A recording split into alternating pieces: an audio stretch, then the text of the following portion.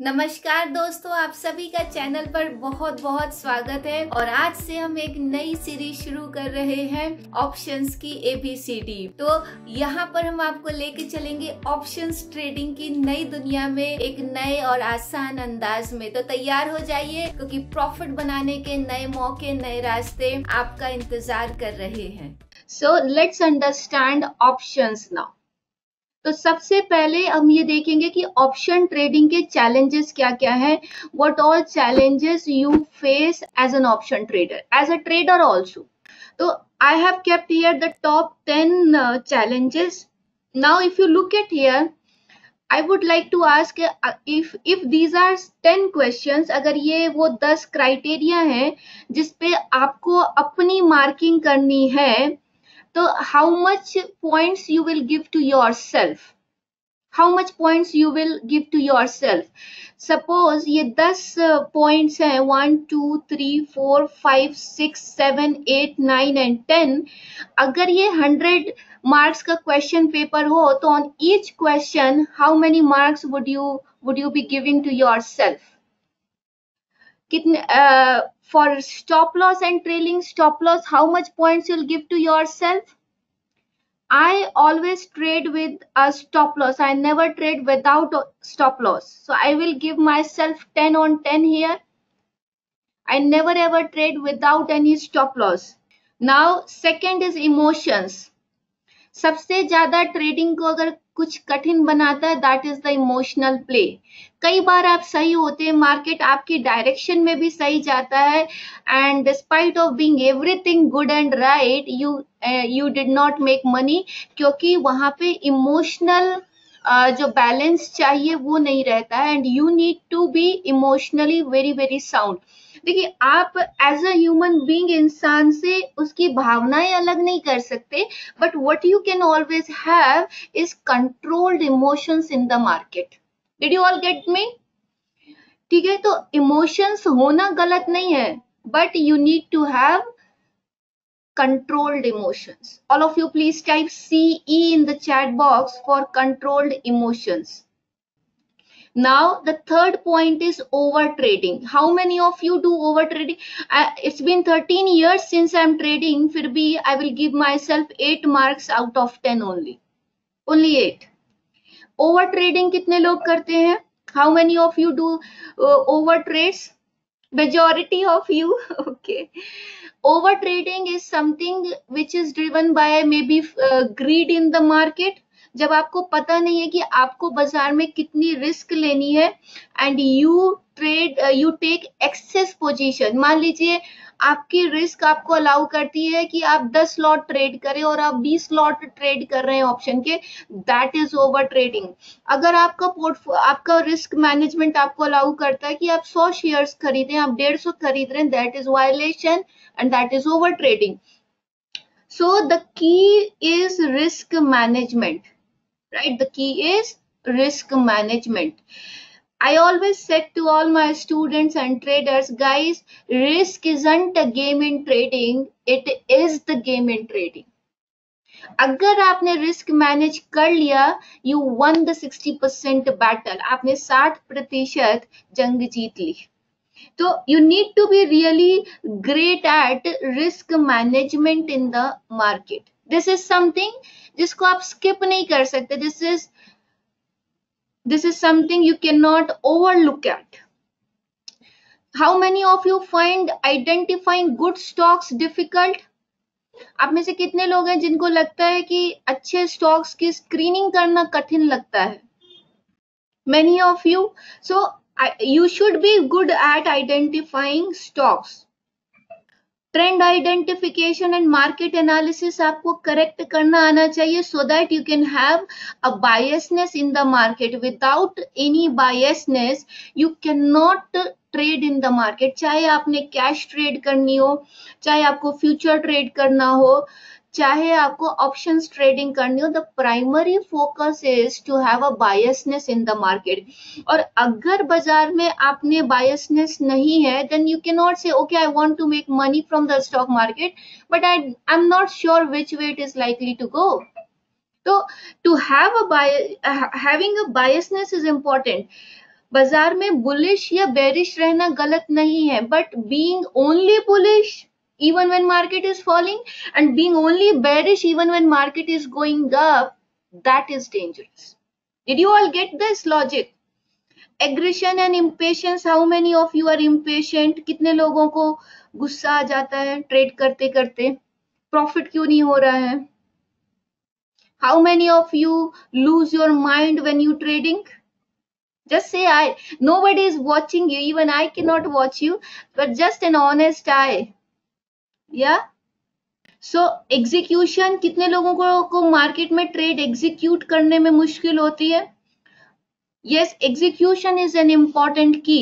you need to be perfect at the exit point क्योंकि trade is from execution to exit so your execution should be right your exit should be perfect and जितने भी traders हैं all of you each one of you should have a trading plan and you should be logging your trades आप में से कितने लोग हैं जो अपना trading journal रखते हैं I assume everybody is a trader here yes or no everybody is a trader अब आप because this is for beginners you need to understand because you are new to the market और आज आप you need to develop your habit in the market from very initial level कि आपने जो भी trades आपने मार्केट में लिया है, उसको लॉग करना है। You need to log it yes you need to log it yes and look at your journal kitne trades aapne liye what was the result what was the outcome so you need to regularly be watching at your own performance right तो आपके पास trading plan और trading journal दोनों होने चाहिए plan is what is your plan to trade tomorrow मान लीजिए आज फ्राइडे है, अब मार्केट मंडे को खुलेगा। तो मंडे को आपका, आपकी क्या बायसनेस है? What plan you have to trade कहाँ पे बाइंग करनी है? कहाँ पे सेलिंग करनी है? What is your analysis how is how are global markets everything should be written on your trading plan तो दो आपके साथी हैं बाज़ार में। एक आपका ट्रेडिंग प्लान दूसरा आपका trading journal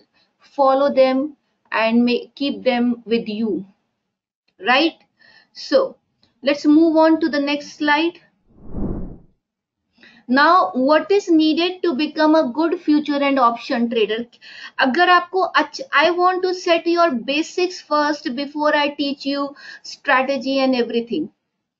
आप बताइए, अगर आपको अच्छा ट्रेडर बनना है अच्छा ऑप्शन और फ्यूचर ट्रेड करना है we all want to make money we all want to be a good trader a successful trader a rich trader but in spite of everything willing the same ऐसा क्यों होता है कि कुछ traders ही profit बनाते हैं, बाकी लोग नहीं? हमेशा एक बात ध्यान रखिएगा कि trading is a three legged table ठीक है? The first one is your psychology trading psychology second is your risk management and third is your system तो trading psychology risk management and trading system these are the three the three legs of stock market trading अगर आपकी psychology अच्छी है अगर आपका risk management सही है और आप एक सिस्टम को यूज़ कर रहे हैं you will make money not only system will give you money सिर्फ़ रिस्क मैनेजमेंट करने से भी नहीं होगा। और अगर आपने रिस्क मैनेज की, सिस्टम भी अच्छा लेकिन आप इमोशनली वीक हैं you are not able to manage your emotions while being in the trade, you will not end up in good profits. कई लोगों ने ये बातें एक्सपीरियंस भी की होगी am I right or not Just type with you in the chat box. Am I right or not? Yes, Jayant, Ankit, all of you, Ajay, Mr. Yusuf, Govind, everybody. Yes? तो what you know always remember आपको profit in तीनों चीज़ों से होगा you need to work on all these three pillars not one ठीक तो if you want to become a good future and option trader, what you need is, first is your, first is that no emotional trading. अब आप कहेंगे, ऐसा कैसे चलेगा, ऐसा कैसे होगा? देखिए no emotional trading means that your trade should not be emotionally driven इसका मतलब है कि आपने जो मार्केट में अगर खरीदा है या बेचा है, उसका कारण ये नहीं होना चाहिए कि आपको अच्छा लग गया। सपोज़ कोई न्यूज़ आई, आपको वो स्टॉक अच्छा लगा और आपने खरीद लिया। There your all your entries and all your trading decision should be logical did you all get this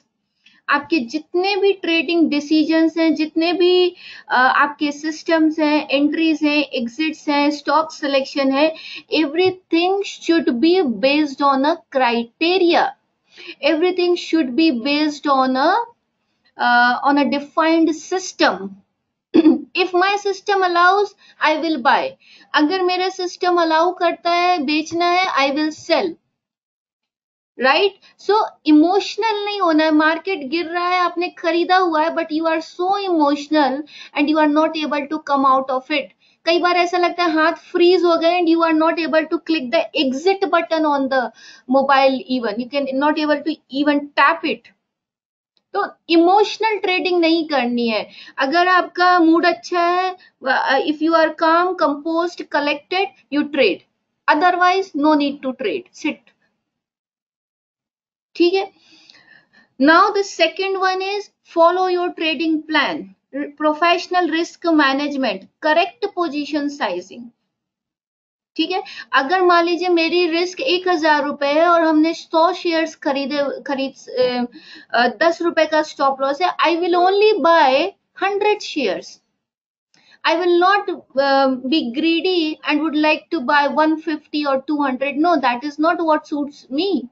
I am a mature trader I am a professional trader तो आपको बहुत सारा सेल्फ कॉन्वर्सेशन करना है। You need to eliminate this kiddish part of you when you are acting in the market true or not everybody true or not ठीक है? अगर आप रोज अपने आप be your own teacher be your own mentor yes every day talk to yourself. Like uh, let me take somebody's name. Like we have ajay.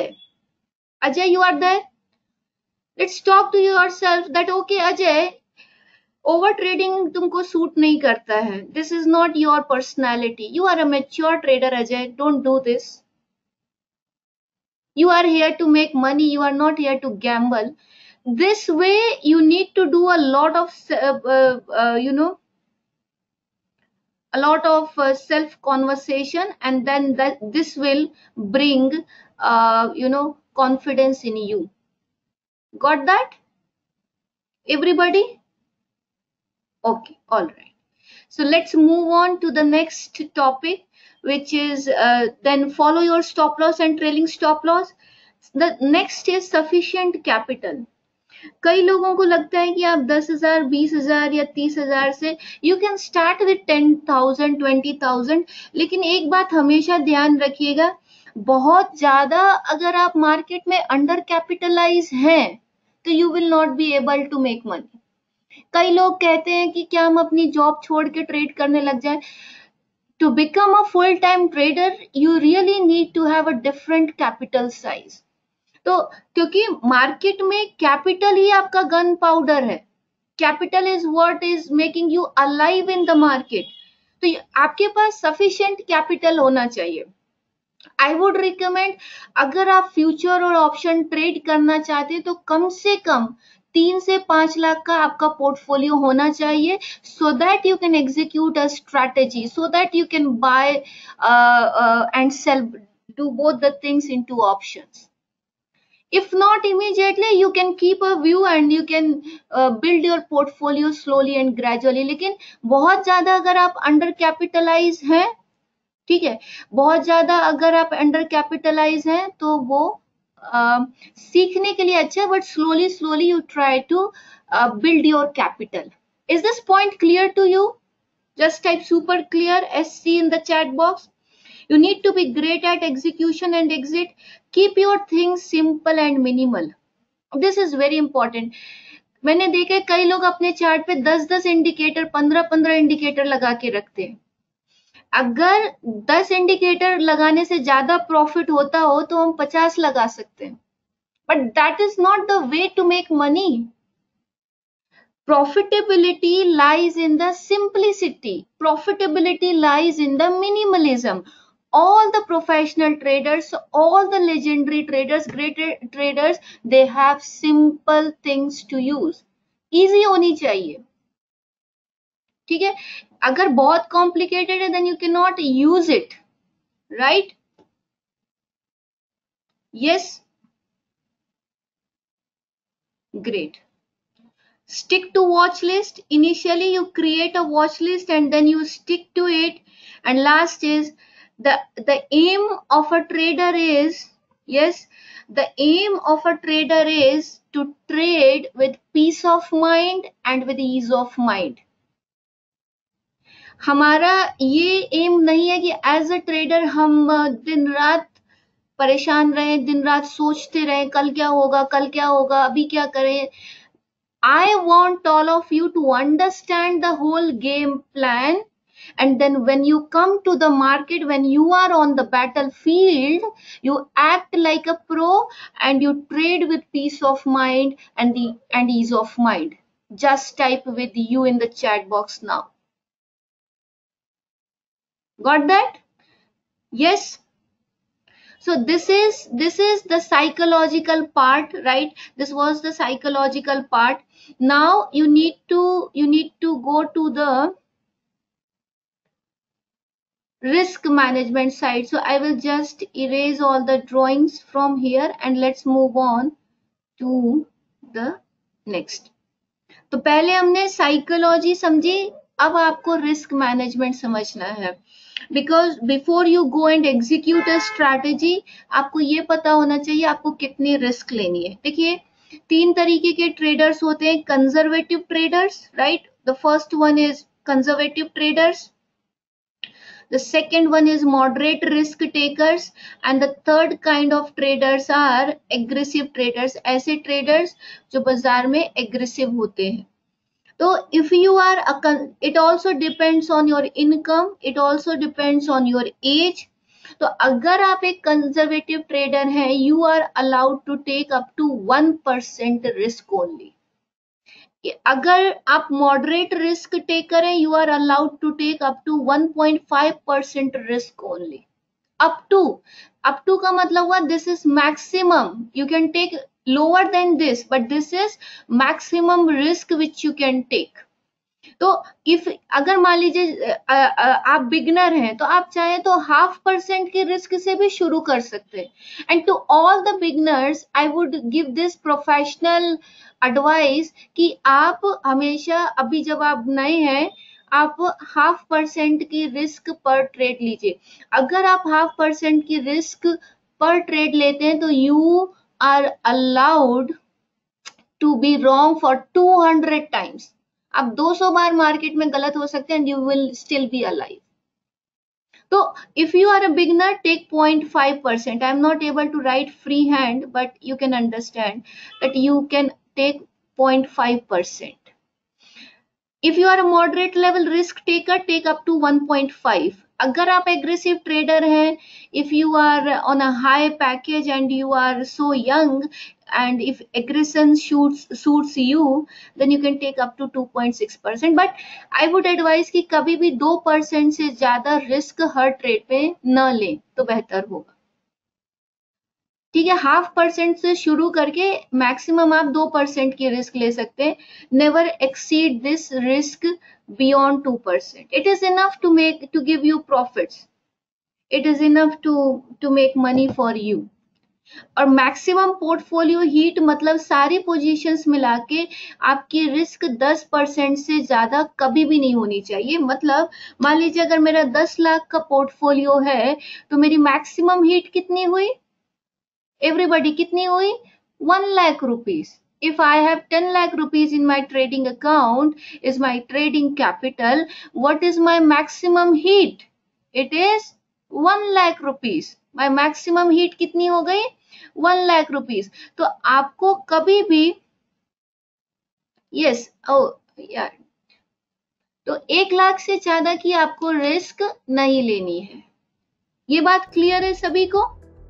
ठीक है? Is the risk management part clear to all of you सभी को risk management समझ में आया? तो दोस्तों, ये था हमारा आज का टॉपिक ऑप्शंस की एबीसीडी के साथ। अगर आपने अभी तक चैनल को सब्सक्राइब नहीं किया है तो अगले लेसन में जाने के पहले चैनल को सब्सक्राइब ज़रूर करें। अगले हफ़्ते नए टॉपिक के साथ फिर मिलेंगे। तब तक के लिए इस टॉपिक को रिवाइज करते रहें। और अगर आप ऑप्शन ट्रेडिंग हमारे साथ प्रैक्टिस करना चाहते हैं तो नीचे डिस्क्रिप्शन में ऑप्शन ट्रेडिंग रूम की लिंक दी हुई है, उसको ज़रूर विज़िट करें। And I see you inside the trading room bye bye